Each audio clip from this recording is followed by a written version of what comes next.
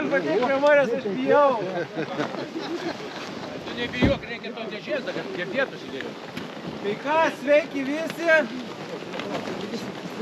Sveiki visi. Arčiau, arčiau.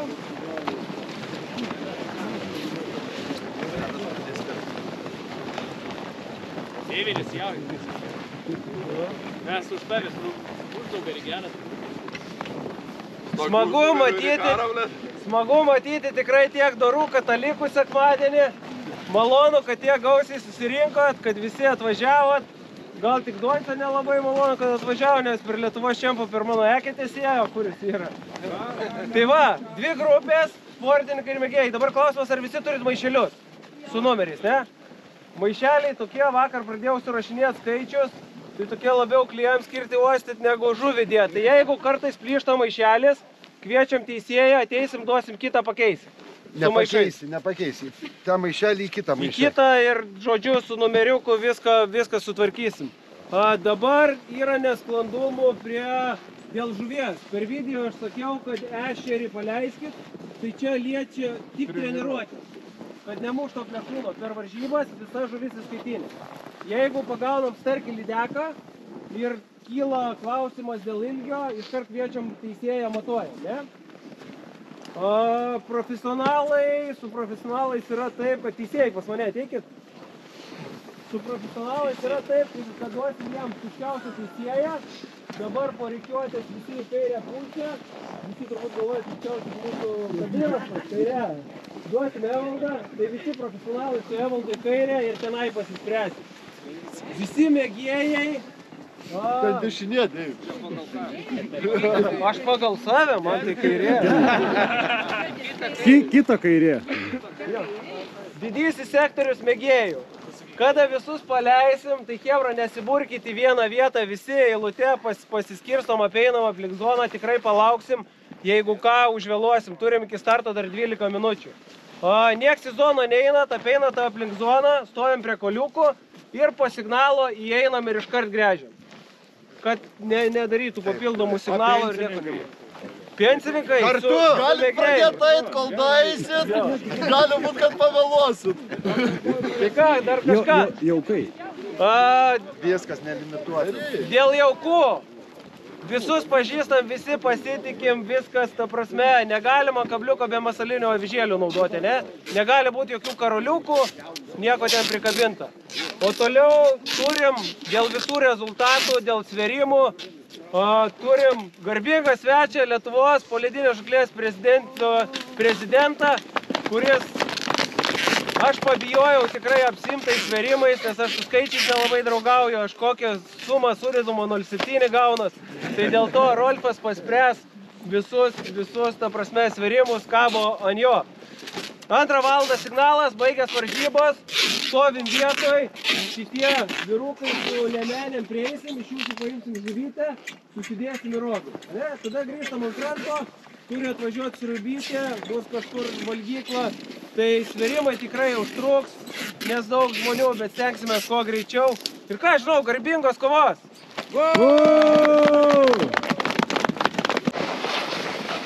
Hu, hebrytė biški jaudinos, pirmas varžybas organizuoju, pažiūrėkit, kas daros, kokios aikštelės mašinų. Vakar turėjom didelę pūgą, tai labai ačiū Tomui, man visada gyvenime gauna su žmonėm visokiais įdomiais susipažinti, visokių nuotikių prisidarau.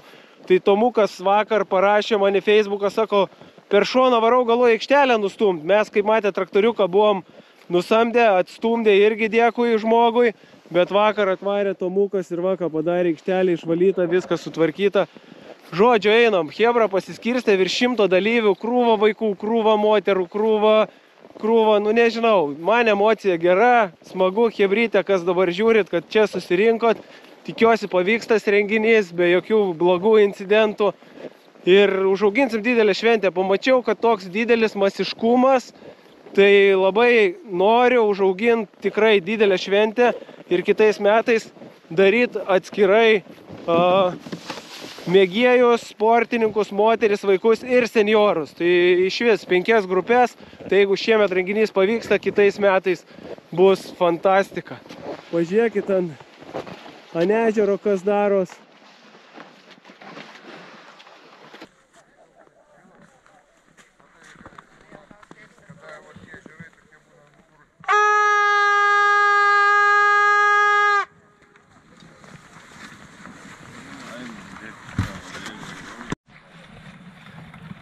Ir varžybos prasidėjo.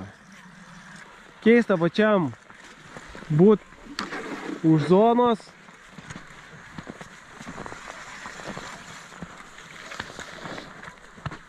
Chebra kampą jėma.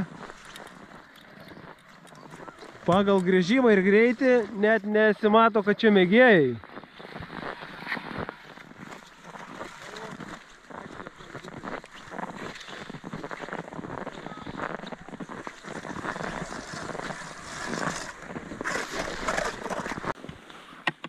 Tai va, pirmos septynios minutės ir jau prasidėjo pirmos žuvytės. Prognozuojam, kad žuvies bus tikrai nemažai. Smulki kojytė ir laukiam labai prašauna didelių bonusų. Yra gražios žuvies, yra ešerių, yra karšiukų, tai aš spėju, kad didžiausia žuvis bus virš kilogramo. Vis tiek kažkas iš hebras išvarys, tiek dalyvių. Gražu žiūrėti, žmogus mėgėjas, bet nepasakytai. Nežinau, kodėl Hebra į Lietuvos čempionatą atvažiuokit, nebijokit, nes kai pasižiūrėjau, kaip mėgėjai pasiruošę, kaip, kaip dirba, tai tikrai nereikia bijoti su tais profesionalais, nes yra tikrai matosi iš šono, kad gražiai pagaudančių. Dirba, dirba, mojuoja vienas kitas, tuo įsišers, susikurs ir turėtų turėti visi darbą. Daug vaikų, gal, jei neklystų, 11 ar 12 vaikų, tai irgi sveikintina, yra tėvukas ne žvėjai, bet vaikai žvėjai kaip keista, tai tėvai atvežė tiesiog vaikus. Teisingai daro. Teisingai, nereikia prie kompų sėdėti, Hebra, važiuokit. Prisisėdė. Teisingai. Nu, pagavote jau žuvį. dar ne, dar neįleidžiu. Nu va, pažiūrėsim. Šalta. Nu va, būna. Visi pasiskirstė po ešerą, taip atrodė daug, daug, kai krūvoj visi buvom, visi pasiskirstė, tai ploto tikrai užtenka. O šimtas viršaus. Jo, šimtas viršaus ir profų nemažai atvarė, tai. Moterų nemažai. Kitais metais darysim tikrai moterų grupę, tikrai negalvojau, kad tiek atvažiuos.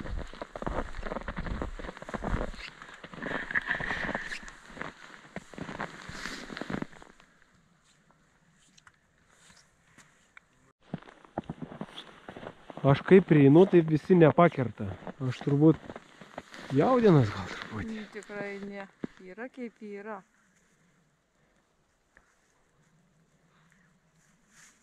Nu, jau kibimų buvo, ne? Du turiu jau.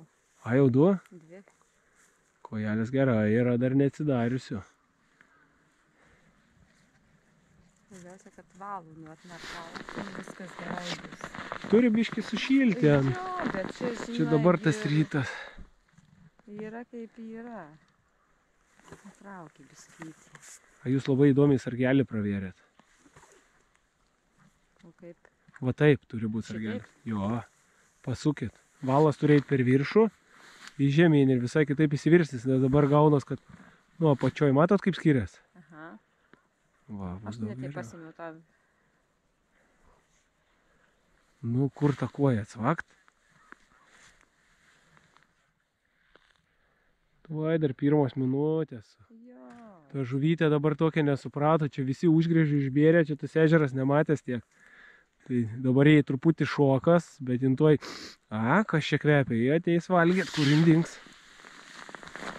Gal dar ir oras. Oras bus geras, turi būti gerai. Greitai sakyk, kiek žuvų turi. Viena. Jau pagavęs vieną? Jo. Tu pasibaigė turbūt. Nieko, nieko, tuoj užsikurs. Turiu sakau. Kurios dings.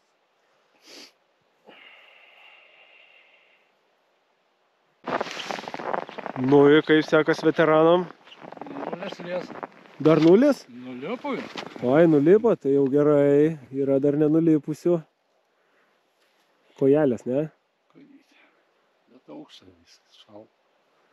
Tuoj įsivažiuos, aš Ne, galvoju. įsivažiuos vakar po 15-20 minučių atėjo ant paprašo. Ane? Pat pasidė.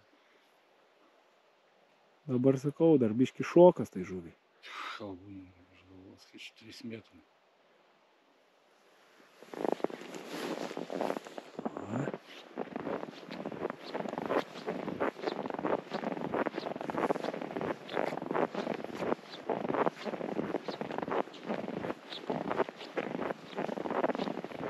Tai man atrodo, tų profesionalų grupiai turėtų būti.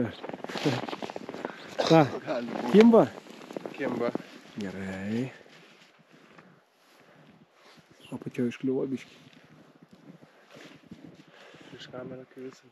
Taip, aš prie ko prieinu ir visi jaudintis pradeda, žinai. Socialiai panervuot. Man visada būna iki pirmos žuvies. Aš žiauriai jaudinos, trija žiūrytė visada prieš varžybas. Bet jo, jo, tai dėl to ir gaudai, o tas adrenalinas savo ir duoda. Jau kada nebijai, tai sakant, tada jau nebeįdomu. Aš visada jaudinas. O po to jau pirmi kibimai ir iš karto atleidžia raumeniuką. O ryte prie startinis būna. Kiek žuvų jau? Keturios.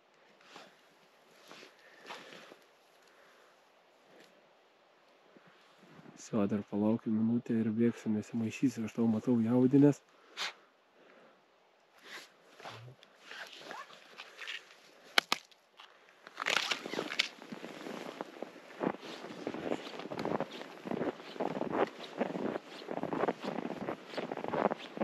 Nu, tu ant karčio matau sėdėsi.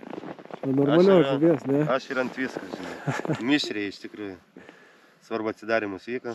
Jau atsidrei, ne? Jo, Sio, ramu. be- kojelė yra.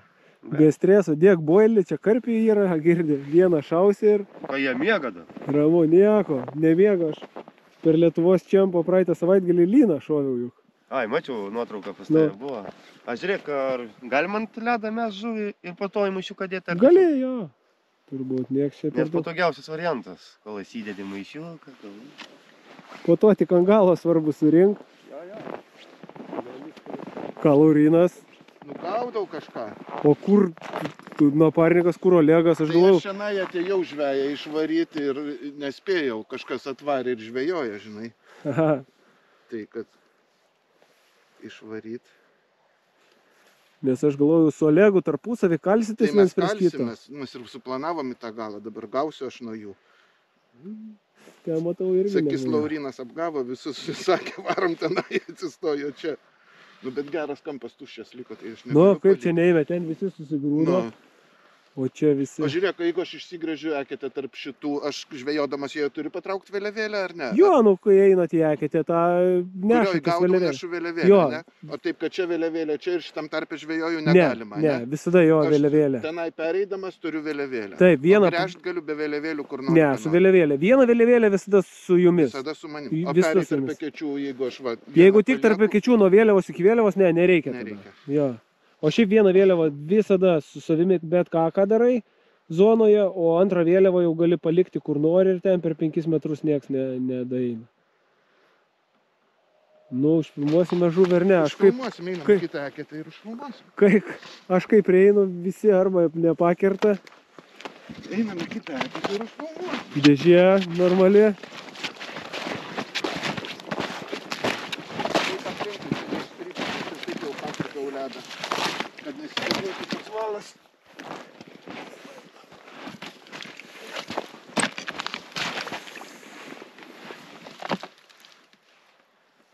Čia nieks ir neėjo, nes šlapės kampas.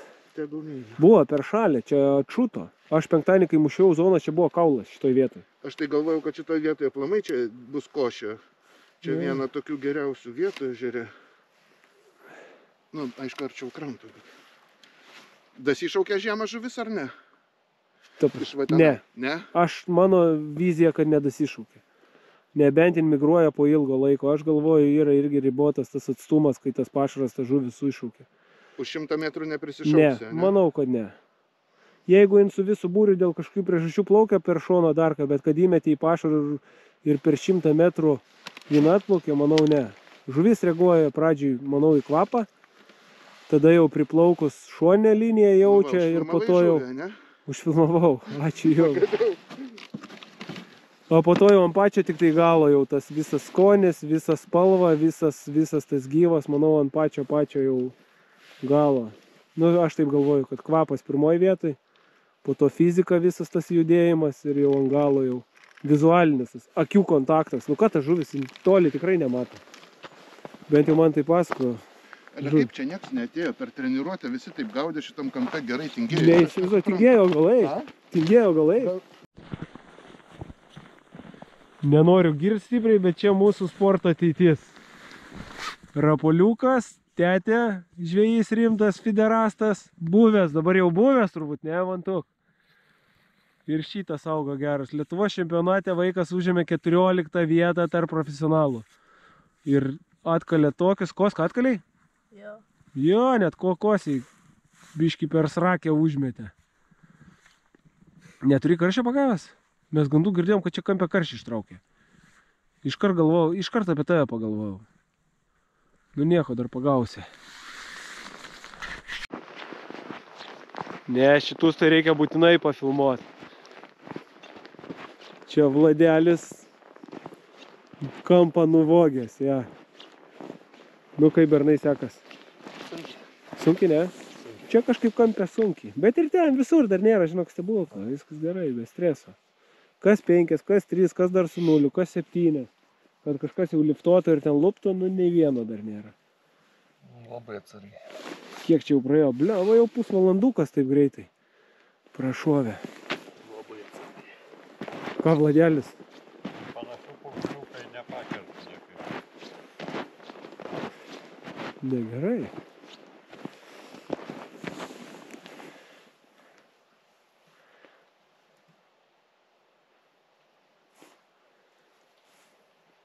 Turi būti kojytė.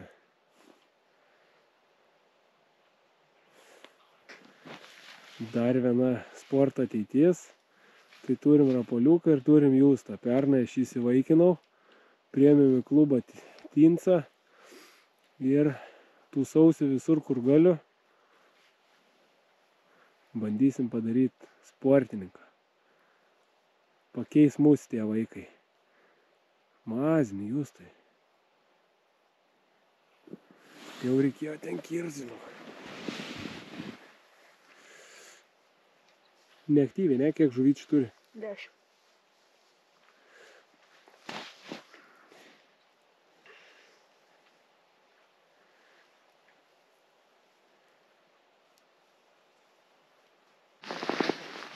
Laurinas Tripeika. Dar vienas fiderastas.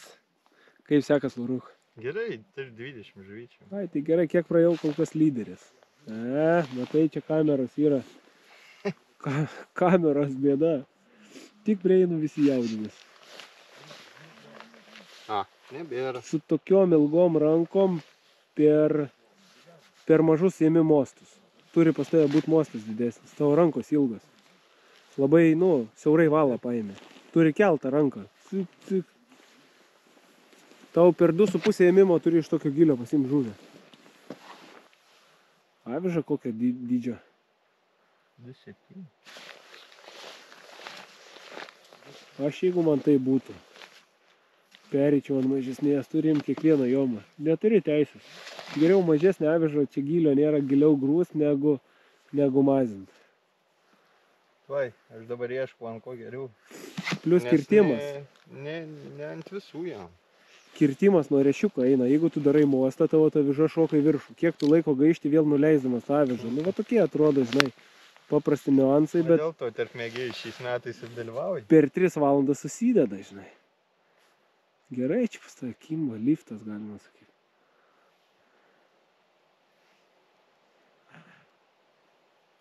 Čia, netrukdau.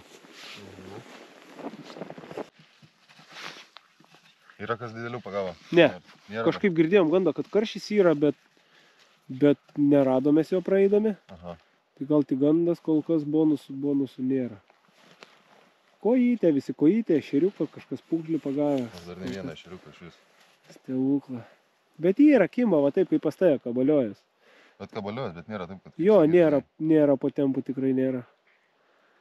Ir jau, jau turėtų į pašarą, jau turėtų stot po biškitą žuvytę, nes jau 50 minučių, žinai. Aha. Jau jin turėtų po šoko atsigauti. Kabaliojas, visi renka, renka, renka. Sakau, praėjau 15 buvo ir 20 buvo. Kojyčių. Jo. O.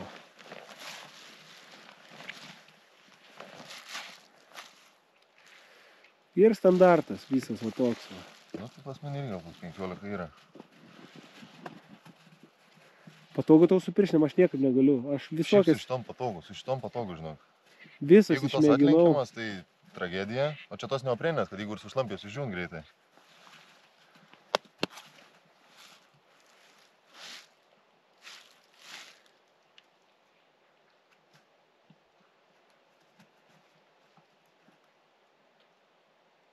Nuo pusėje dar nebuvo tenais krašte. Net krašte nuo starto. Pagavo, pagavo, Aha. po to praeidinėjau biškį aprimo, nes ten toksai, žinai, aprinko tas aktyvės. O dabar krašte, kiek žiūriu, nieks netraukia. Nu, tai iš kokių 20 žmonių. Aš irgi kiek iš šonus pasižvalgau, tai ta pusė, tai va tai va, kaip man, nėra to. Visiems vienodai, kol kas nėra, sakau, nieks nepastatė taip, kad dar, žinai, stotų, nu naisiu pas profus labai įdomu, Haha. ką tie pridarė. Kiek jau pagavai? Penkias žuvis. Tai tu lyderis. Kaip vardas virūti tavo? Lygias. Kiek metukų? Penkis su pusė. Geras. Man 35,5. Gerai penkia žuvytė, šaunuolis. Vienas seseriukas, aliau keturios kuolės. Tėtai, tai tėtė apgaudai. Tėtis matosi. Keturias. Keturias tik pagavęs. Šaunuolis, nešala pirštai. Neatsibos keturias valandas.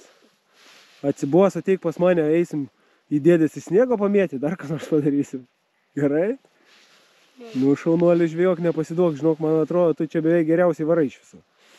Yra ten kažkas šešias pagavęs, bet toj tu davysi. Nu, įvarė jau karšį. Kur tavo karšis? Aš tavo jau Nu, pagavau. aš, jį- aš jį sutikęs per treniruotę. Ja. Nusėmė savo karšį per treniruotę. Taip, jau viskas. Žinai, kaip būna. Kai gerai per treniruotę, tai paskui. Visada man irgi taip pat. Jeigu gerai viskas per trenkį, atrodo, radai vaistų raktą, nueini varžybas. Ir viskas. Žuklė yra taip, realiai auksinė taisyklė, kad jeigu iš vakaro nešti užpakalį, tai ryte visada smirda pirštai. Ir visada apsiverčia, dažniausiai treniruojas. Nu, iš 10-8 varžybos visada apsiverčia į kitą pusę. Visada. Taip, labai sunkiai kažkaip tai nežinau. Sunkiai, Žiauriai sunkiai. Vakar sakė Hebra, čia visi gaudė, tempas buvo per valandą kyla, visi darė. Vakar gal su penkiais kokiai išnekėjau, sakė, o Jėzau, labai gerai. Iš vis, va, pašerė, ateina. Matyti. Vieną, dvi ir vėl. Rinkt grybų rinkimo taktiką. Eini renkia, eini renkia. Nu, dabar pasakokit, kuris, ar mažiukas, ar didelis laimi. Mažiau. Broliai. Mažiukas laimi? Tai tu vykis. Nu, tai šiaip tėtis pagavo. O ne? A, žučiokas tėtis. Kiek žuvų turi? Vieną. Gerai, reikia pagal būtinai antrą. Nu. Būtinai. Profesionalų sektorius. Irgi negalvojau, kad jų tiek prisirinks, pasirodo prisirinko. Tai irgi smagu. Kiek čia yra? 1, 2, 3, 4, 5, 6, 7, 8, 9, 10, 11, 12, 13, 14, 15, 16, 17, 18, 19, 20, 21, 22, 23, 24, 25 žmonės. Kad nepritryp, pas mėgėjus paprašiau prieiti, ten patrypt galima, jie nemėto balaiko. Nu, kaip Donce? Nieko, normaliai. Dainavos klubo jaunimas Žuvies tai tikrai yra. yra, ne? Pas mėgėjus, žinok, ne kažką. Tikrai, O čia žiūriu, jeigu sportininkai nebėgioja, reiškia, po truputį kimba. tai tikrai kimba, bet tik reikia. O, krapšto. Tikrai dėvi yra. A, įvarė kas nors negirdėjai bonusą kokį, čia šovė ar ne? Kol kas nėra nei vienos dabar gražios. negirdėjau nieko besikojykės. Ešeriukų nėra. Po kol kas. Tai bonusai ant trečios, ketvirtos valandos, ant galo visada pradės kortas maišyti. Šio duonce, davai. Varyk. Oho, primušęs.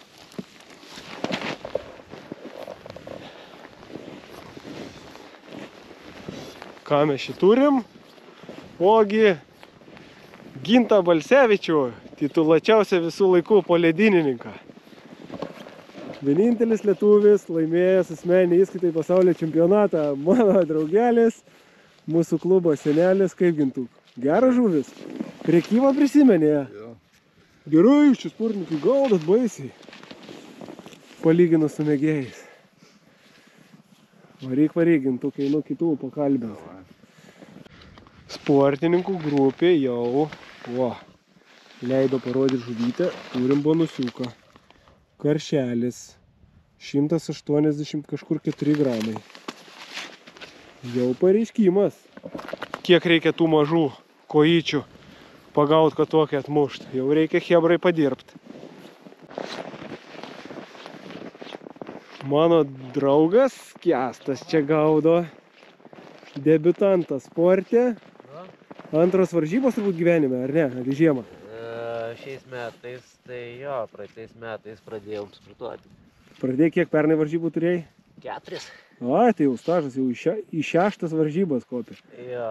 Tai drąsiai būčiau priregistravęs prie mėgėjų, bet Kestas sako, ne, ne, aš noriu eiti su Hebra rimtais. Nepasiduosiu taip paprastai. Taip, sakė, noriu eiti mokintis, noriu eiti išmokti. Va, mokinamis dėvių pravedimus daryti. Ja, matai, tu kitaip su prišiuku, aš taip nemoku. Aš bandžiau kažkada gyvenime šitą pravedimą bandyti, niekaip man neina, aš nežinau, aš per aktyvus, man negaliu pasigauna kojytę, a girdi geriau negu panevežyje. Ei, Čia bent įdomu. Va, įsigrįžiau ir niekur eiti nereikia. Viet. Supranti? Pakšti, takšti. Bet aprimu. Aprimo, ne? Aha. Bet čia dar pasigauna, žinok, čia jum dar, čia jum dar kimba. Bet sakau, va, tris pasidaręs, fain. Siokės tupų netripėmės tau. Bandom apeit. Gaidys, gaidys, teisėjas gaidys. Kaip tu dėvi dabar tokį įdėsi video pas save? Nieko. Kaip sekas nėra? Kabaliuojas? Ne, Blogai man. nes ten tai gerai, Hebra mojuoja. Aš gal nebemoku gaudyti. Turėjai mėgėjų eiti zoną. Neįleido mane.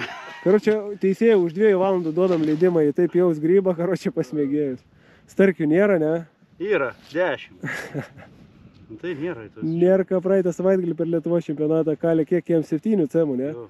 Starkiena tokį bonusinį. Yra čia irgi starkių, žinok, dar įvarysi. Specialiais duomenimis trečias etapas čia. Nu, teisėjas, ką, ką, ką situacija? Ai, tai va ten, tai gaudo, čia šitam gale, va, tik tai jam nesiseka. Ne, ten Visi geriau. gaudo, visi gaudo, o nėra, kad tik negaudo ir Aivaras, matau, dar negaudo. Profesionalai yra profesionalai, žuvytės tikrai, tikrai daugiau. Bet ir tarp mėgėjų yra tikrai hebros, kas drąsiai galėtų eiti varžyti su jais.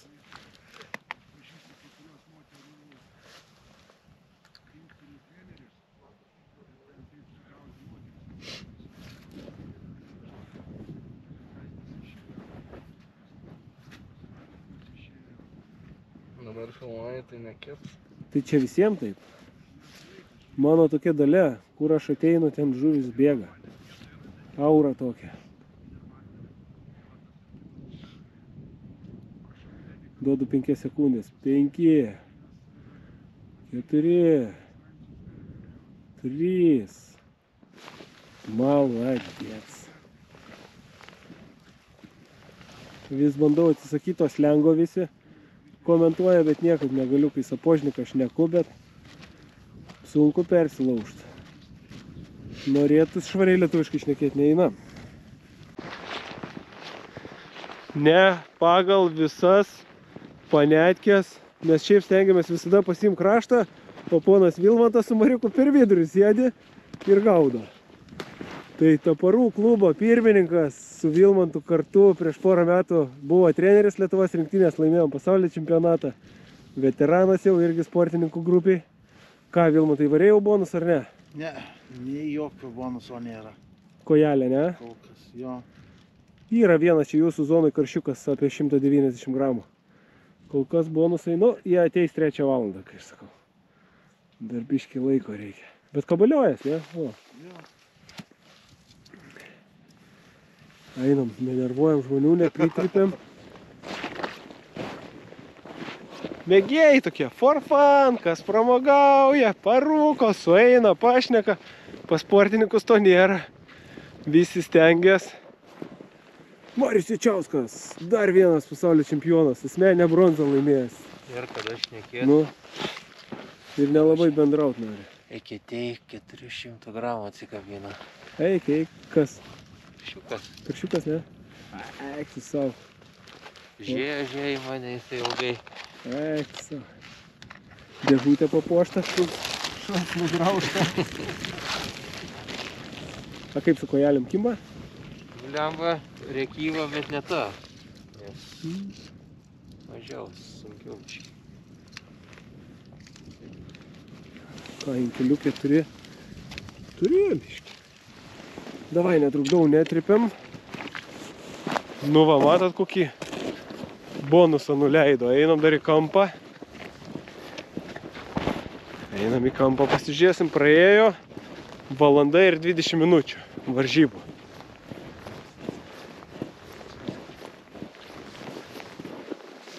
Vėjo nėra.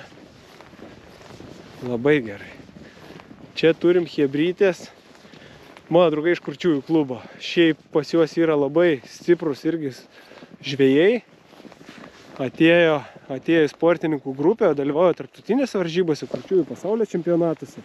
Tai Bienas Karneckas, matos pagal techniką.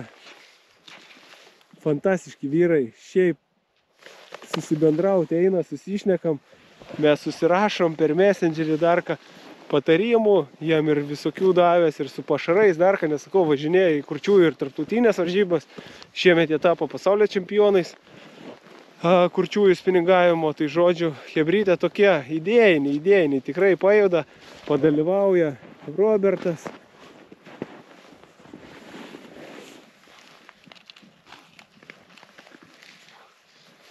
Matot, visus pas sportininkus jau nėra taip laisvai kaip pas mėgėjus. Visi stengiasi, visi dirba. Laukia fantastiški prizai. Tikrai nesitikėjau, dar Hebra kiek sunešė, ne, neieškojau tų remėjų. Bijojau, bus, nebus tuos varžybos. Ir paukšt, vienas, antras atnešė prizą. Tai kosmosas smagu. Bendrauti yra smagu. Ropkė.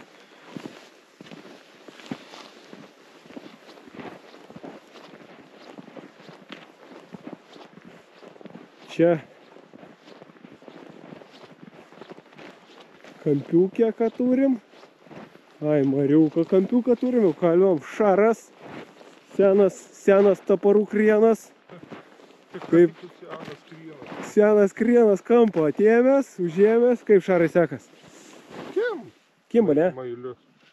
Na gerai, bonusą neturėjai varęs. Vienas žioplys, neminėsiu kas, nes labai arti stovi, nuplėšė vieną. Gerą. O kam čia laimė, o kam... Ir vienas ištraukė karšiuką apie 200. O, Nu, tai tuoj pradės ir tie lyst. Kymantas. Tai čia kur minėjau, kad atsirado prizų, tai žvejo lobis. Skyrė irgi čekį į parduotuvę. Sveiki visi! Sveiki visi, matė jūs jį per mano video, ne? Su Kymantu turėjo gerų žuklių, gaila, kad šiemet nėra, ne? Ai, iš gaudas? iš karto skodas. Čia- Kameros sindromas. Ja. Tai va, Hebrytė, didelis dėkui žvėjo lobio parduotuviai. Tai tuoj atsiras internetinė jinai po biškį.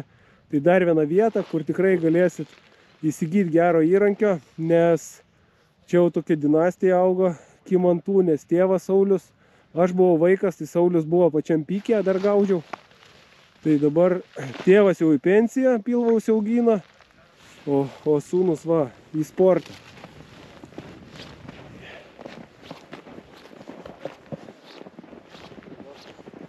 Ei, variūnė!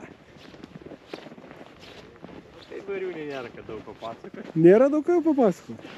Nėra, kad daug apie O neprisimeni, kai geras sakydavo, klyjuot net. Tai čia sėdi iš įdyburį. Atsimeni tas pamokas. Ja. Nelabai nesunkiai. Jo, kažkaip tai taip. O ko nepersigrėžė? A? Yra kas užsikūręs, tai gaudo. Kas? Nelabai. Mariukas nuleido karšį 400. Ekitėjai, trys kartėmė nepaėmė. Eikiam visus, einu toliau pas mėgėjus. Taip, ten įdomiau. Čia pas jūs daugiau veiksmo. Daugiau? Jo, jo. Arba kad vieta žuvingesnė, ar, ar. Arba... Nu tikrai nemeistriškumas, nu tikrai Ne, nemeistriškumas. čia nėra meistriškumo, bet Su profesionalais viskas aišku, paskutinį dar užfilmuosiu, visi turbūt pažįstat, legenda poledinė žuklės. Mūsų Arūnas Koska, mano draugas, mano mokytojas, realiai su Rolfu užaugino mane tame sporte. Šiandien irgi atvarė sudalyvauti. Matot techniką, ne? Ai, biški braukiai. Turi bonusiuką ar ne? Pabėgo prie. prie Pabėgo irgi? Kus čia Mariukui, sakė, apie 400 gramų karštis pabėgo. Vieną rovę. pabėgo? Rovė, ne? Aha. Bet gal karpis, bet taip net nesustojo. Sakau, o, tą, kur norėjau. O taip kimba visur. Labai geras sportiškas ežeras. O tas, kur būtų pirmas etapas, o čia va, tai va. Tai aišku, dar žinai. Kas, kas, kas gerai, kad niekas į svetimas sekitas nelenda. Ai, nėra kaip Lietuvos čempionate, Ne. kad kirstų, ne? Ne. Nu tai va, smagu. Dėl to, dėl to, kad visi pagauna. Visi pagauna, visiems, visiems faina. Renginys bomba. Tik tai... Ui, Aš dar tikiu labai, kad išvažiuos trečią valandą. Turi pradėti, prašau, išlizdinė didelė pirmų šerimų praėjau. O ne? Pirmų ir buvo visi bonusai? Jo, jo. Du, du turėjau ir kaip e, pats sakė, kad čia masiškai kojytės, tai pasiruošęs ant kojyčių. Tai šešių valas tai kaip laukas. Pirmas įgyvimas tai net, net e, rankoj pajudau tai lėvą. Jup. Nu sakau, tas čia kur boilių privalgęs. Kaip, aš žinau, kokiuose aš einu, aš degu, aš kaip žvėt noriu. Faina, ne iš šono žiūrėti ar ne? Ne, aš gaudyt noriu. Aha. Nu ant tiek degu, žinai, atrodo taip smagu būti Labai sportiška žuvis, labai. Nei didelė, nei va tokia va vidutinė. Tai mūsų sportininkų sektoriui e, daug ką reiškia technika. E, Avižėlių dydis, kabliukų e, dydis ir, ir svoris. Man atrodo, bus taip kažkaip apie kelius kilus. Turėtų, aš manau, Jo. kad turėtų. Jeigu dar kažkam papuls šaut bonusą, tai čia iš karto damkėsi. Visur kimba, visur. Visur, kur šėriau. Tik va, noriu pagauti bonusą. Nu va, pašaras vienodas tavo e, nierkos, o nierkavo nepataikė ant žuvies. Nepataikė ant žuvies. Nepataikė. O Mariukas. O Mariukas gerai, Aivaras? Aivaras ne kažką, iš viso nieko. Matai. E, man šiandieną toksai buvo mm, taktika gal tokia, kad pabėgti iš, iš, iš, iš bandos. Nebijau gręžti centro, nes nu, laisvas plotas. Kažkaip tai ten va, į kampą net nesigrūdau, nes vis tiek po, po pirmo šerimo gauna žuvį šoką, tai manau valandą, valandą jinai būna tokia vat komui. Čia atėjau taip kaip senas vilkas į, į uh, kaip brūkštelėjau, į laisvą plotą, kad nei kitiem trukdyti, nei savo. Yra to- tokia taktika, mes Jo, aš pirmą kartą, kai priminėjom, priminėjom Bulgarijai, kada laimėjom pirmą pasaulio čempionatą, tai sutarėm su Hebra bėgti nuo talpos, priėmėm tokią taktiką, buvo perspektyvų, labai buvo toks turas su barimetrija ir mes priėmėm taktiką bėgti totaliai nuo talpos, turėjom antras, trečią, ketvirtą įėjimo tašką ir jeigu pirmas užimtas eini į antrą, trečią, kur mažiau talpos ir taip visus sudaužėm, nes Hebra suėjo, gaudėme šeriuką, suėjo, kad ir jo buvo užgrėžę, pabaidė, visi numušė, o mes nuėję nuo talpos, atidirbę šerimą, da šerimą, susigaudėm fantastiškai ir ten, nu, taip sudaužėm visus, kad veikia tokia taktika. Ne visada su šita pačia taktika mes Suomiją pralošėm, taip kukuose, kai neėjom muštis dėl talpos, galvojom vėl išvažiuosim ant seno, tai sakau. Manau įdomu šitas video, matėt kiek patarimų išgirdot, kas nuo pradžių žiūrėjot. Tai sudalyvaukit, kitais metais gal kartuosim, jeigu gerai baigsis turas. O baigsis jis, manau, gerai. E, svarbiausia, kad visiems kimba, nėra tai, kad, nu, kada kimba, gali galvoti, mąstyti, šert, kažką, tai vad kombinacija kabliukus. Aš dabar va praėjau pirmą, pirmą įmą su, su 3 mm avižėlė. Kabliukas čiūtaro man didokas. Tai 5 kaip įma 4 žuvis. Viena žuvi, žuvis visą laiką būna, nu, nepakrita. Pasėmiau 2,8. Kaip išpypti. Gerai, ne? Kaip išpypti. Sorunėlė, dirb. Dirbam. Grįžau į mėgėjų sektorių. Čia Hebra atsipalaidavę, ramiai, be streso. Sportininkai sportuoja. Čia dar viena dinastija auga tėvas spiningistas. Įbernas. Kaip Danielka, duodi tėvui kropą? Aišku, duodi, čia vizualiai matos, kad gerai. Kimba pabiškė. Kimba, kimba pabiškį. Gerai, vakar mačiau gerai sugaudį. Nu, ne neblogai. Vakar buvo kėdainiuose varžybose, tai tarp vaikų pirmas buvo. O čia žiūrėsim. Gerai, padarė. Yra daug kam, kam blogiau. Šaunuolis, varyk. Kaip damom sekas? Prastai, ne? Bet nors vyrų kompanijai pabūsit geroj.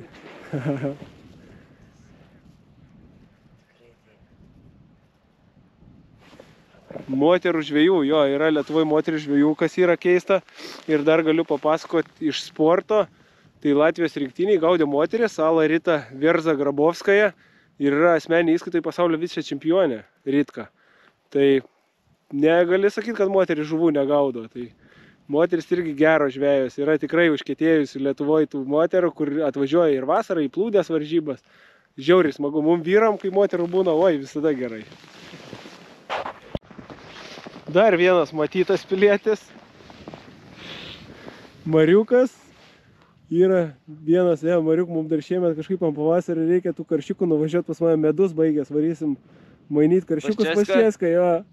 Tai yra video mano, kur subadyti sausarūriai pernai, kur karšiukus gaudėme žerė ir po to mainėm į medų. Tai va su Mariuku mano draugas, šiemet pirmą kartą kažkaip visada atidarinėjom sezoną pirmo ledo, kokius kiek gal 5-7 metus kartu.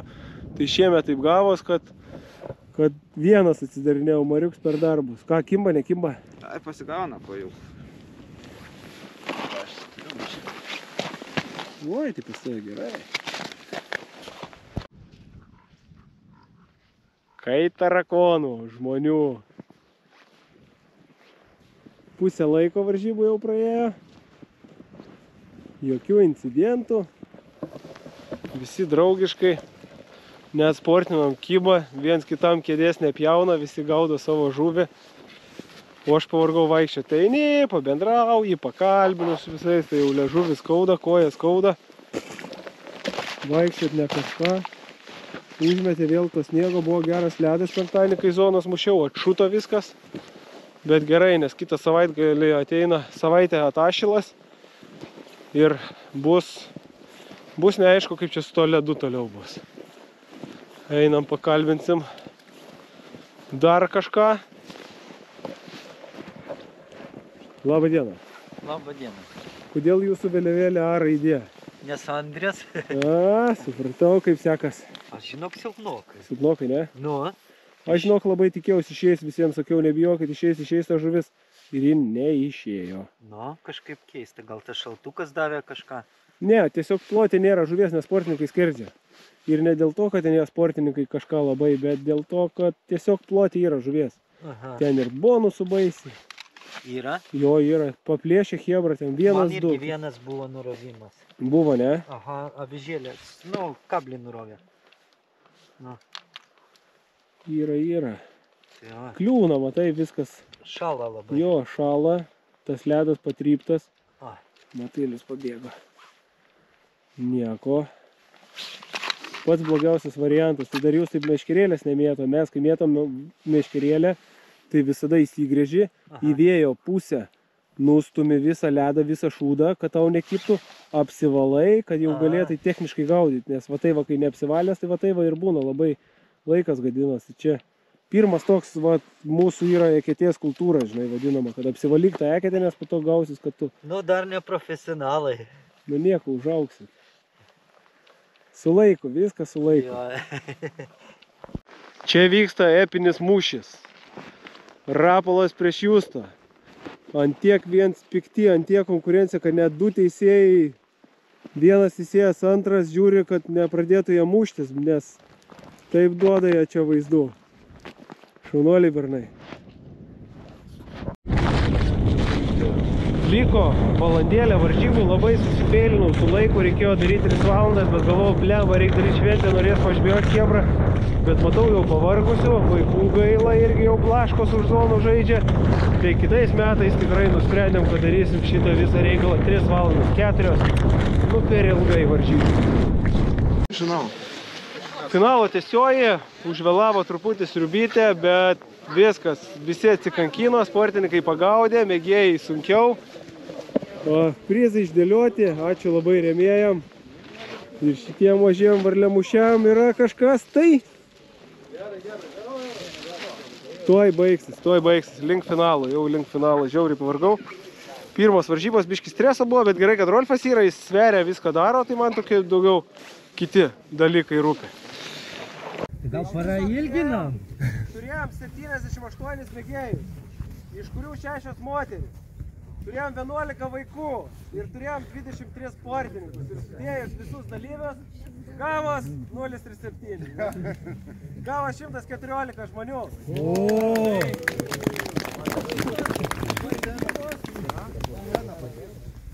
Bėdai! Šitos varžybos tikrai nebūtų išėjusios be vieno žmogaus, tai tokie simbolinė skirta dovanėlė Laurinui, ežero nuomininkui, kuris tikrai man daug padėjo. Ir turėkite omeny, kad vasarą galima atvažiuoti pagauti karpį. Rėmėjų, nebuvo jų gausus būrys, bet turėjom Rolfmetą, kuris skyrė nugalėtojo maišyklės, tai realiai šis žmogus jas gamino. A, tada žvejo lobis skyrė čekį į parduotuvę, kurį įdėjome į mėgėjų nugalėtojo tarbelę. Ir, ir, ir toliau inkiliukas, toliau inkiliukas kitus prizus skyrė. Tai turbūt pradedam nuo pačių mažiausių, kurie kentėjo pabiručių vaikučių, 11 vaikų į eilę.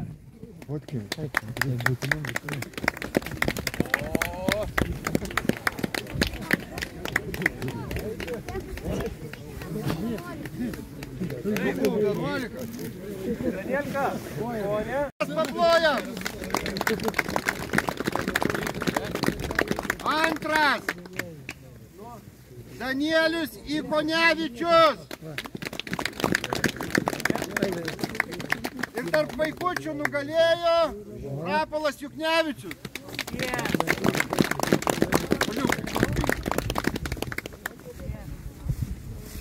Vaikai, vaikai, valagai.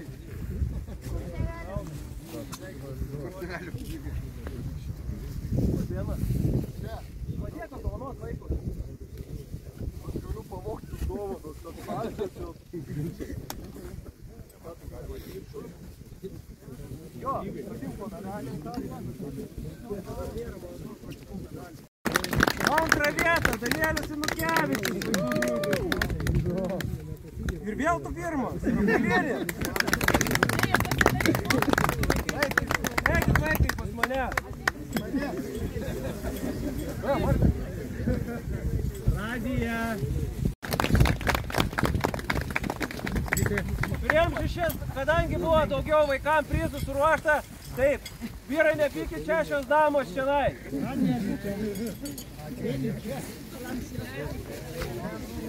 Radija. Simbolė. Dovanėlės simbolinės. Atkentėjo tartų mužrykų.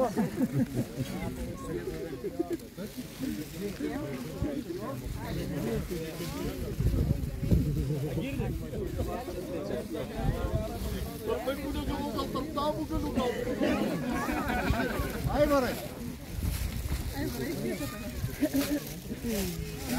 čia.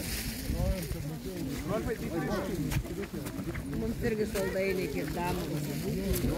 Dabar kaip pišam dovanojimo. Pišas bus karščius. 704 gramai berodo. Labai džiaugiuosi, kad Litvišą nunešė mėgėjas. Nes sportininkai tik tas mažas žuvis ir gauna.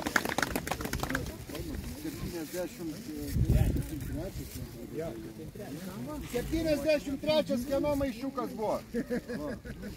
74 gramai karščias. Vaitkūnas! Dainius Vaitkūnas! Dainiau!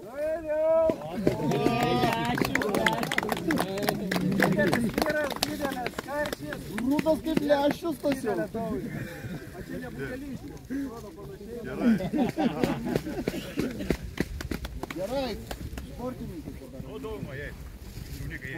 dabar. Gerai, sportininkai. Dešimtas Nerijus Budrys.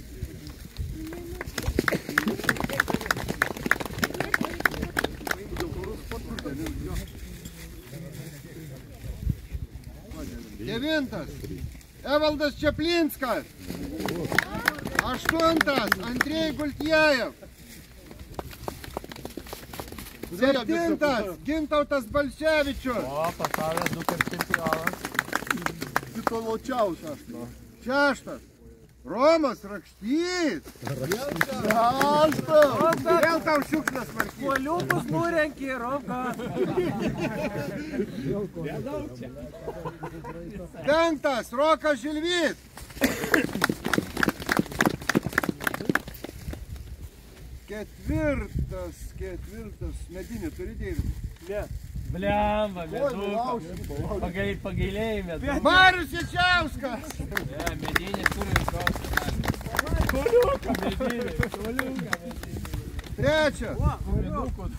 Mediniam. Kaip tik guminukų liko. Trečias Arūnas Koska. Koska. Tau antrą įkiliuką. Netikėjau. Tau antrą įkiliuką nereikia. Turiu vieną A. Aš neperku. Teik. Kepurė nusėva. Antras. Neduokiam šampaną. Matai, kaip viskas apgalvota. Gaudžiau su kairė ranka. Antras Aivaras Sinkevičius. Dešinės nespėjau įjungti. Įvariūrė kepurę, bratų.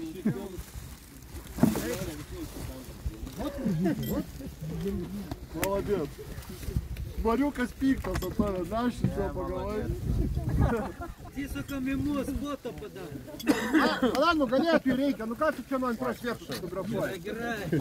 O nugalėjo sportininkų grupė žmogus, kuris gaudo metodę, lyderyje. Ignas Bredaitis. Jisai gaudo su dešinė, dėl to jam viskas geriau paėjo. O Jėzau, čia plaukų. Akina, plaukų gausa. Lemba, kur tu buvai prieš 3 valandas, galėjai nusipūti pašildęs. Kur dėjai dabar vienuolika? Nulėt, tiesiog čia.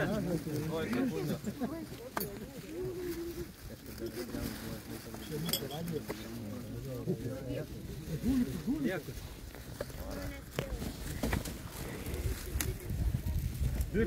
Mėgėjai.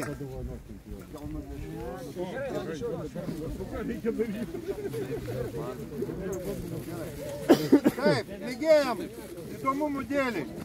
Dešimta vieta, kilogramų 511 gramų, Vladas Šatkus.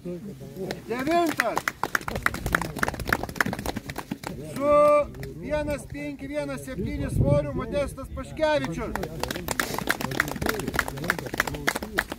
Aštuntas su 1,559 Oskaras Abečiūnas. Septintas 1608 Vidmantas e, Baliukonis. Šeštą vietą.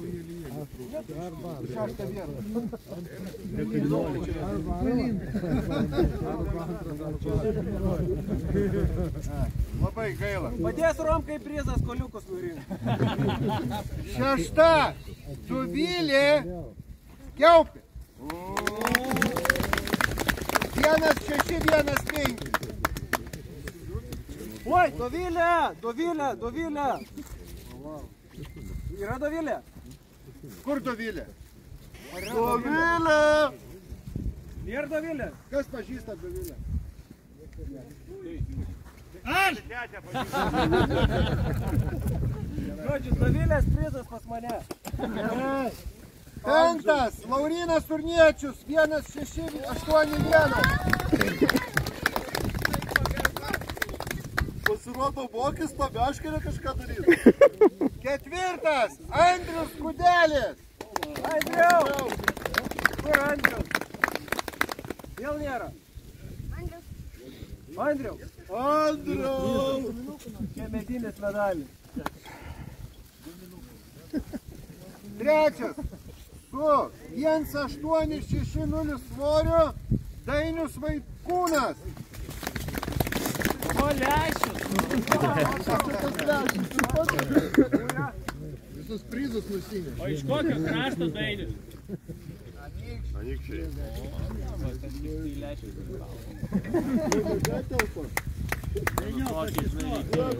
Antras. Nepaleiskit jūs nuotrauką. Man antras. Su 2 kg 185 gramai Mantas Kulionis.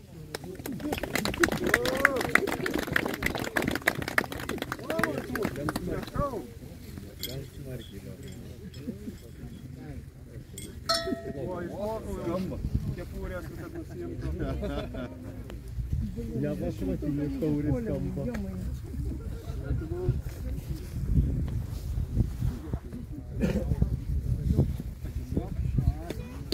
Ir dabar korupcija. Ir dabar korupcija. Kitais metais šeimininkas žvejot negali. Vieną kampę paleidot. Su svoriu 3 kg 50 gramų. nugalėjo Laurinas Kapočius. Ir sportininkas. Sportininkas turėjo. Penktas bus. Ir kas svarbiausia, malė boilius. Boilius. Ant terpio, žinai, žmogus. Nu. Ant plauko, žinai. Kur kus? Tai va, kas dar nepabėgo bendrą foto ir ačiū Hebra už renginį. Dar biški, dar traputuką dėmesio. Visų dalyvių vardu, žvejojančių profesionalų ir mėgėjų, pirmo turnyro proga, reitingo numeris vienas pasaulio kvalifikacijai. Norėčiau pasveikinti visų dalyvių vardu ir padovanoti atminimui. Auksinių rankų meistro kvokų gamintojo Rimanto Garbausko kvoką. Lūką daužys. Žmogus sikaus nemoka gaudyti, gal vis dėlto ryšys rimtesnė žuvį pabandyti.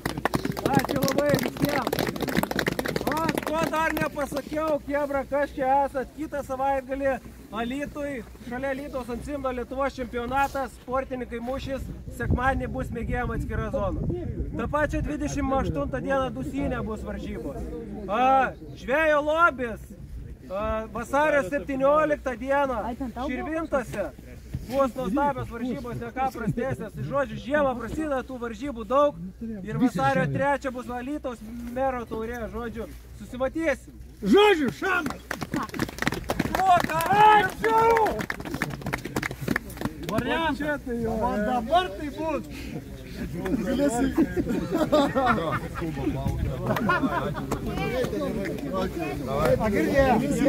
Pasistengiau, bet. Fu, kaip gavos Kievra baigęs varžybos ir svarbiausio dalyko per tą stresą, per viską, čia sribytė suvėlavo. Pamiršau galo išfilmuoti, tai Lauris telefonė turi, jeigu iškarpą įdėsiu, tai įdėsiu. Buvo geras renginys, 114 dalyvių, 11 vaikų, 6 moteris, vaikus moteris apdovanojom, žodžiu, fantastiniai prizai. Trečios vietos bronzinis berniukas. Tai fantastiškai buvo gerai, praleidom laiką, man atrodo, tikiuosi ir jums patiko ir nežinau, gal šitas inkiliuko ta taurė gal išauks į kažkokį renginį ir, ir ačiū dar kartą remėjom, Rolfimeta už maišyklės, žvėjo lobis, parduotuviai, Kymantui su Sauliu, tai jų taurė irgi vasario 17 laukia, Širvintose bus tikrai įspūdingas renginys, tai Hebra pamedžioja, tai žinokit, tokia sriubytė išverda, kad šaukštą gali nukast. Tai va, Hebra, tiek, tiek reikalų.